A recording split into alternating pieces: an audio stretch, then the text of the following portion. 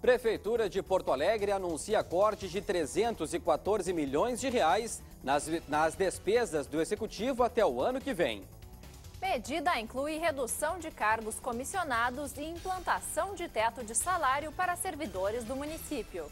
Orçamento participativo do Estado tem votação recorde, com mais de 1 milhão e 100 mil eleitores. Conheça um projeto que utiliza a reciclagem para educar e estimular a criatividade. Este é o Jornal da TV que já está no ar.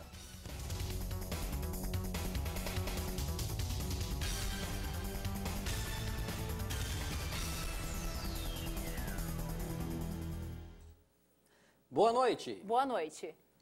O prefeito José Fortunati anunciou hoje um corte de quase 315 milhões de reais nas contas do executivo até 2014. Entre as medidas tomadas estão a dispensa de 95 servidores com cargos comissionados e também a aplicação de um teto salarial com base na remuneração do prefeito, pouco mais de R$ 15.500. A crescente crise econômica internacional e a diminuição na arrecadação de tributos levaram a Prefeitura de Porto Alegre a fazer cortes nos recursos. Investimentos na saúde, educação e assistência social vão ser mantidos. Além disso, a prestação de serviço essencial como limpeza urbana continua, mas obras de mobilidade urbana na Zona Sul não devem iniciar ainda neste ano. Na prática, nenhuma obra de mobilidade nova vai ser iniciada neste ano. Edgar Pereira de Castro, Vicente Monteja, Oscar Pereira, são três obras que estavam planejadas e que nós vamos ter que postergar. Para conter as despesas, vão ser reduzidos 10% dos veículos terceirizados. Também serão diminuídos gastos com telefones celulares, materiais de consumo, viagens, horas extras, entre outros. E ainda revistos contratos. Pelo plano de atuação da Prefeitura, ainda neste ano pretende-se economizar 130 milhões de reais. E com as ações a longo prazo, até o final de 2014, a economia pode chegar a quase 315 milhões de reais. Durante a apresentação dos cortes, um grupo de servidores fez um ato público em frente à Prefeitura. Em face dessa desigualdade salarial, para servidores efetivos que prestaram o mesmo concurso, executam o mesmo serviço, em face então dessa desigualdade que nós estamos aqui pleiteando uma real valorização e uma isonomia entre os servidores da Prefeitura de Porto Alegre. 5% da equipe que trabalha na prefeitura exerce cargo de confiança. 95 desses profissionais vão ser dispensados. Outra medida anunciada é o corte de salários de 240 servidores que ganham mais do que o prefeito, que hoje recebe R$ 15.503. Isso já tem decisão baseada na Constituição Federal. Quem estiver, obviamente, isso é repassado para a Secretaria Municipal da Administração que faz o corte automaticamente para a próxima folha. Os servidores que estiverem descontentes com isso busquem o Poder Judiciário, mas eu tenho convicção de que esta é a medida adequada de acordo com a Constituição. E Porto Alegre registrou a menor taxa de desemprego do país em julho, de 3,7%. A pesquisa mensal de emprego do IBGE apontou uma leve queda no índice em comparação com junho, quando a taxa foi de 3,9%. Em relação ao mesmo período do ano passado, também houve queda. Os dados da pesquisa apontam que neste mês, a população sem emprego na região metropolitana da capital é de aproximadamente 74 mil pessoas. Para quem tem carteira assinada em Porto Alegre, o rendimento médio ficou em R$ 1.856,70. O Palácio Piratini divulgou hoje os números finais da votação de prioridades ao orçamento estadual de 2014. O processo teve a participação de 1 milhão e 100 mil eleitores gaúchos, um recorde para este tipo de consulta pública. A construção participativa do orçamento estadual foi feita por votação em todas as regiões gaúchas. O número de votantes cresceu 10% em relação ao ano passado. 1 milhão 125 mil pessoas participaram da votação nas urnas e pela internet. No topo das prioridades para destinar recursos do orçamento de 2014 do Estado estão, em primeiro lugar, saúde, depois, segurança pública. Surpreende, é, corresponde a esses vários e muitos anos que se deixou de investir em saúde como política pública no Estado. É, portanto, o que cabe a nós é, recebendo essa prioridade, é, avançar na execução e na priorização dos recursos, que é isso que nós estamos fazendo. Quando nós avançamos para a busca dos 12% da saúde, estamos sendo correspondentes, digamos, a essa necessidade. A segurança pública também é absolutamente compreensível. Nós estamos ainda na fase de recuperar a infraestrutura mais elementar da área de segurança pública do Estado, que é viaturas. Viaturas de bombeiros, viaturas leves para a Brigada Militar, é, carros é, de vistorias do Corpo de Bombeiros, é, carros para a Polícia Civil e assim por diante. O governo também promoveu uma consulta pública sobre reforma política. Mais de 90% dos 540 mil participantes são a favor dessa mudança. E a sua grandíssima maioria, 65%, favorável a uma Assembleia Constituinte. Então, acho que esse é um dado também da consciência política da população, em todo o Estado, em todos os municípios, que não deixaram de ir até o último voto para manifestar a sua opinião. Acho que é um exemplo de democracia, um exemplo de cidadania, e a nossa expectativa é que a bancada gaúcha recolha esse voto, essa manifestação, como um exemplo de sentimento de expressão de posição sobre a maioria da população do Rio Grande do Sul, para que os deputados, enfim, reflitam sobre isso. E o Palácio Piratini começou hoje mais uma etapa do processo de interiorização do Executivo Gaúcho. A repórter Lisiane Motini está em Rodeio Bonito, onde acompanha a comitiva do governo do estado e tem mais informações. O primeiro município a ser visitado pelo governador e secretários foi Sagrada Família, a 371 quilômetros de Porto Alegre. O chefe do executivo conversou com agricultores e vistoriou a obra de pavimentação do trevo que dá acesso à cidade, que vai refletir na economia. Estima-se um crescimento de 20% a curto prazo, tanto na agricultura quanto na indústria. Depois, o governador se deslocou para o município de Jaboticaba, onde visitou a escola Francisco Gottler, onde, com investimento investimentos de 268 mil reais, foi possível trocar a rede de energia elétrica e substituir o telhado. Desde 2011, segundo o governador, já foram mais de 1.700 escolas recuperadas no interior do estado. A equipe depois se dirigiu para a cidade de Seberi, onde foi conferir a obra do Instituto Estadual de Educação Madre Teresa, com recursos na base de 290 mil reais. No local ocorreu a assinatura do termo de cooperação entre o governo do estado e a Associação dos Produtores de Leite de Seberi para a implementação do programa Leite Gaúcho. E também outra assinatura, agora para a implementação do programa Irrigando a Agricultura Familiar. O governador também deu uma cópia de uma chave de uma retroescavadeira para a administração da cidade. A última cidade visitada foi o Rodeio Bonito, onde ele conversou com as pessoas que trabalham na Associação Hospital São José conferiu a ampliação do setor de traumatologia. Direto de Rodeio Bonito, Lisiane Motini, para o Jornal da TVE, segunda edição. A Expo Inter e outras questões importantes para o campo são os assuntos do programa Frente a Frente desta quinta-feira. O entrevistado é o secretário estadual da Agricultura, Pecuária e Abastecimento, Luiz Fernando Mainardi. Participaram da entrevista o repórter do Jornal do Comércio, Nestor Tipa Júnior, a especialista em agronegócio, Thaís Dávila, e o jornalista também especializado na cobertura do setor, Otacílio Grivô. Além da feira, o secretário aborda os incentivos para quem quer trabalhar na terra, investindo na tecnologia da irrigação. O governador Tarso autorizou nós comprometermos 225 milhões. 75 milhões por ano em subvenção. Três anos, 225 milhões. Pelo, por um cálculo que fizemos dos ganhos que a irrigação nos dá, nós vamos ter 460 milhões de ICMS durante o período de fruição desses contratos.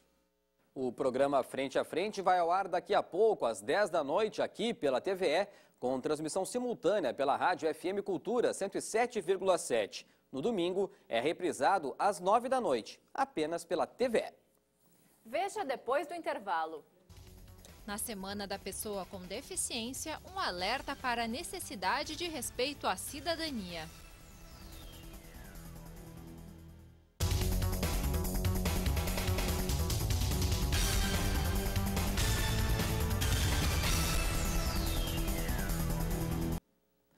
Conscientizar a sociedade e fazer com que a própria população seja fiscal da lei que reserva vagas especiais nos estacionamentos. Estes são os objetivos de uma campanha do Ministério Público em parceria com o governo estadual e municipal. O projeto também faz parte da Semana dos Direitos da Pessoa com Deficiência. O flagrante do caminhão estacionado na vaga para pessoas com deficiência durante a descarga de mercadoria tem explicação para o motorista. É só descarregar ligeirinho, não tem lugar para estacionar. É dois minutinhos, nem vou desligar o carro. Mas o que, que o senhor acha disso, de ter os locais é, separados? Mas não tem, não, não, não, se acha, né? Se chega no centro para estacionar, não tem lugar para carga e descarga. Às vezes se obriga a parar em algum lugar que não tem, não tem onde parar. Pois é mais comum do que parece as pessoas pensarem que não há problema em usar as vagas de estacionamento especiais. Essa é uma infração à lei, já que 2% dos espaços em locais públicos são exclusivos para pessoas com deficiência e outros 5% para idosos e gestantes. E as vagas estão bem identificadas. Mas mais do que isso, respeitar o estacionamento especial é entender a real convivência em sociedade. Além de cidadania, é o bom senso, é o respeito a essas pessoas que são desiguais e que nós precisamos, acho que desde pequenininho nas escolas, aprendermos a como lidar com esse problema. A campanha Vagas Especiais para Estacionar Eu Respeito foi para as ruas hoje. A conversa com os motoristas e a distribuição de adesivos querem buscar multiplicadores para essa mudança cultural. A campanha faz com que o cidadão comum se torne efetivamente um fiscal e, mais do que isso, também seja uma, um agente de transformação social. E que a única deficiência que a gente não deve tolerar é a deficiência moral das pessoas que não sabem respeitar o direito alheio. 25 anos de dedicação e inclusão. A Escola Municipal Especial de Ensino Fundamental Professor Eliseu Paglioli foi pioneira em Porto Alegre e abriu as portas para muitos estudantes com necessidades especiais. Dança, brincadeiras, muita festa. Agora é hora de comemorar. A escola Eliseu Paglioli, localizada na zona sul da capital, é a veterana das quatro escolas municipais voltadas para estudantes com necessidades educativas especiais. 25 anos de esforço, cumplicidade e muitos resultados. Essa história se confunde com a história de educação especial do município, que abriu as portas para pessoas com deficiência que pudessem realmente trabalhar numa concepção de educação, de cultura, quebrando o paradigma de, de clínica, de assistencial. Tá? E hoje, 25 anos depois, toda essa relação com a comunidade preconiza também outras experiências para outras escolas. Eu aprendo a rádio, fazer entrevista com as pessoas, uh, coloco a rádio no recreio. E tu também está trabalhando, né? Eu arrumo os livros, eu levo os papel, xerox. Franciele é ex-aluna da escola, mas sempre volta para rever professores e ex-colegas. Muito importante, estudei, fiquei com a professora Nelci, uh, fiquei muito com os amigos também, foi muito importante também.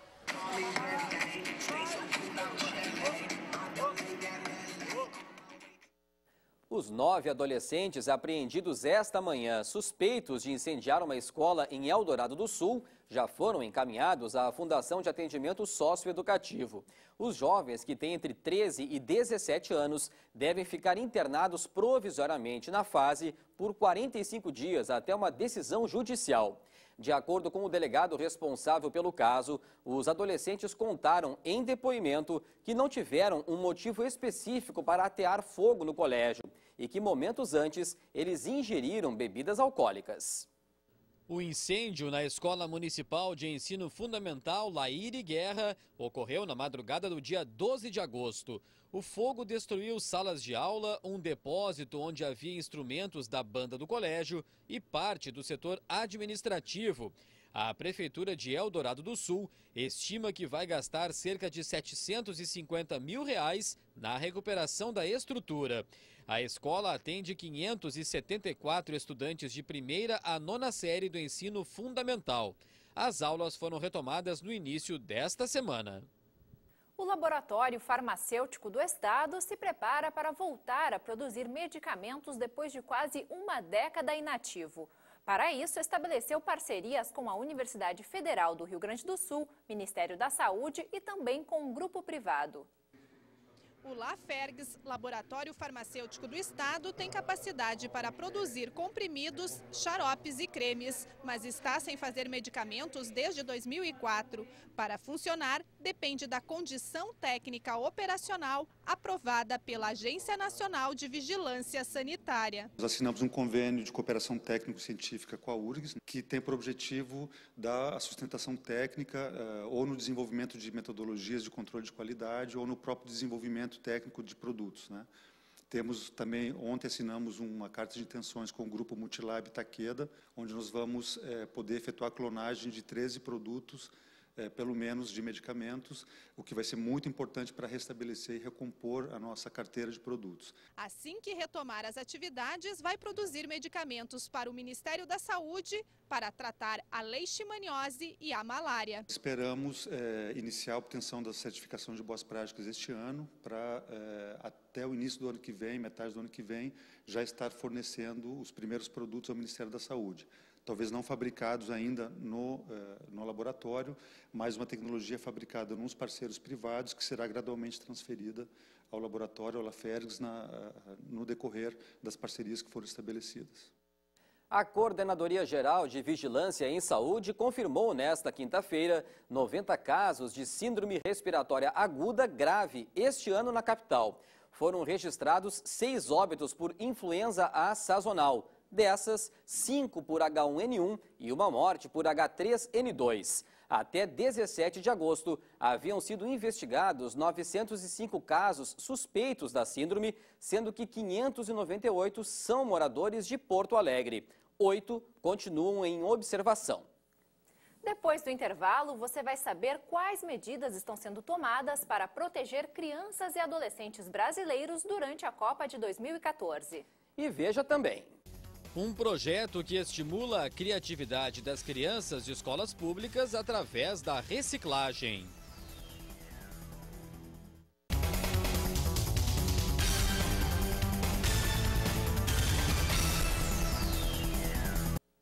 Hoje foi um dia de instabilidade em todo o estado e de grande variação térmica entre as regiões. No sul fez frio ainda pela manhã. Em Uruguaiana, a mínima foi de 9 graus e 6 décimos. Já na metade norte, a máxima chegou aos 30 graus e 8 décimos em Iraí e aos 26,2 graus em Porto Alegre. Mas a chegada da chuva já diminuiu as temperaturas. E esse tempo chuvoso segue pelo território gaúcho. Daiane, boa noite. Boa noite. Pois é, segue sim. Mas amanhã essa chuva se localiza principalmente na metade norte do estado, com volume significativo de água e alerta para trovoadas e rajadas de vento que podem chegar a 90 km por hora em áreas isoladas.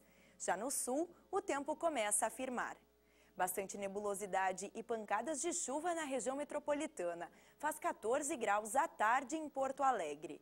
Dia chuvoso no litoral norte. A máxima não passa dos 16 graus em Torres. Em Vacaria, na Serra, precipitações durante toda a sexta-feira, mínima de 6 graus. Variação de nuvens na campanha gaúcha. E o amanhecer vai ser gelado nessa região. Faz 2 graus em Bagé. O tempo fica assim também na fronteira oeste. Máxima de 15 graus em São Borja.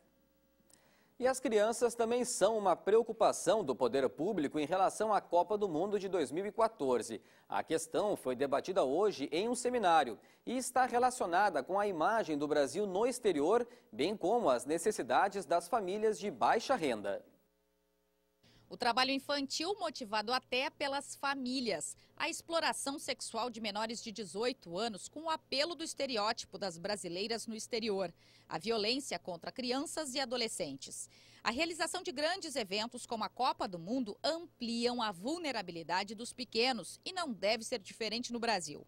Por isso, a presidência da República está exigindo que cada cidade sede da Copa do Mundo de 2014 organize grupos de trabalho para a prevenção baseados nas experiências internacionais. Nós temos que cuidar, especialmente durante esse período, ter maior efetividade da polícia, dos conselhos tutelares, conselhos de direitos, aí o poder público está trabalhando e também ter uma, uma a família, né, o cidadão, a sociedade civil, ter essa consciência, né.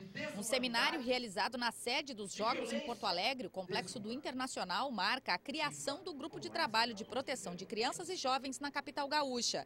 A prefeitura de Porto Alegre, com o Ação Rua, já está intensificando intensificando as ações que atraem as crianças para a rede de proteção e também evitam o trabalho infantil.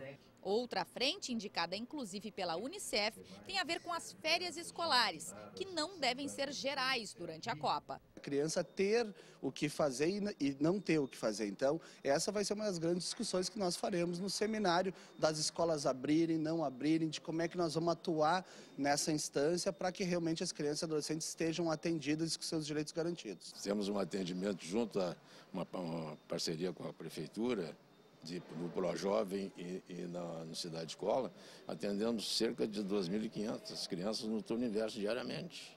Tá?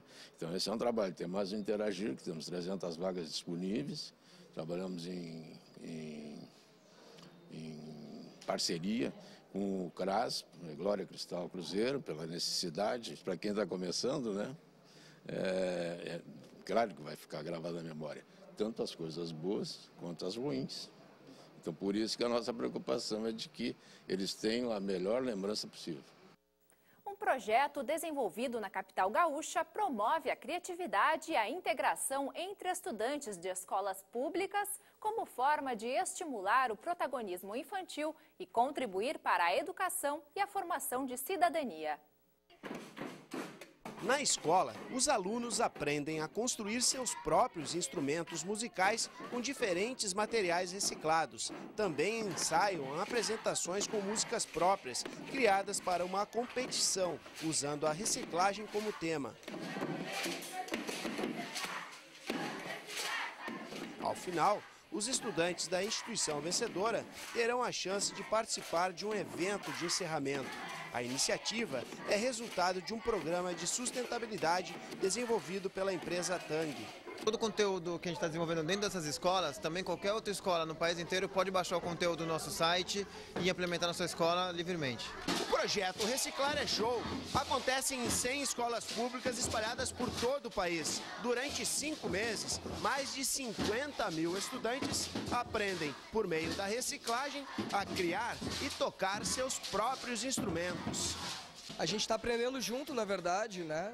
Desde março, quando os oficineiros foram para São Paulo para aprender um pouquinho das técnicas de construção de instrumentos. E vir aqui trocar com a criançada é maior barato, né? Apesar deles serem super cheios de energia, mas é bem legal. E a oficina vem mudando a vida de crianças como Vladimir, estudante do sexto ano do ensino médio. Um menino bem tímido e isolado, que se revelou um grande líder da banda durante o projeto. Primeiro eu me importo com o que eu estou fazendo, para depois eu dar início ao que eu vou fazer.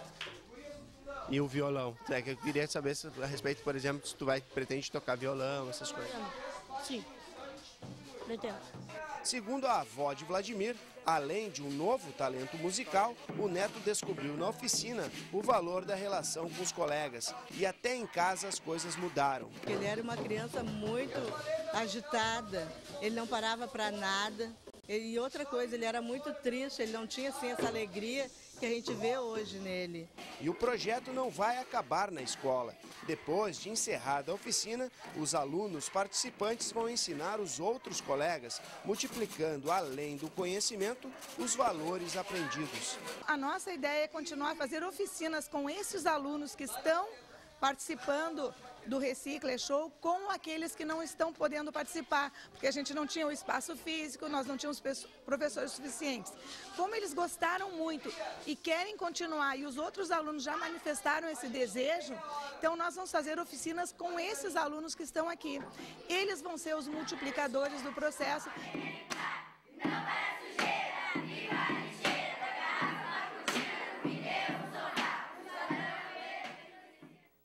O Jornal da TVE termina aqui. Mais informações você acompanha nesta sexta-feira no TVE Notícias. E no Jornal da TVE, primeira edição, ao meio-dia e 30. Nós voltamos amanhã às sete e meia da noite. Uma boa noite para você. Uma boa noite para você e até amanhã.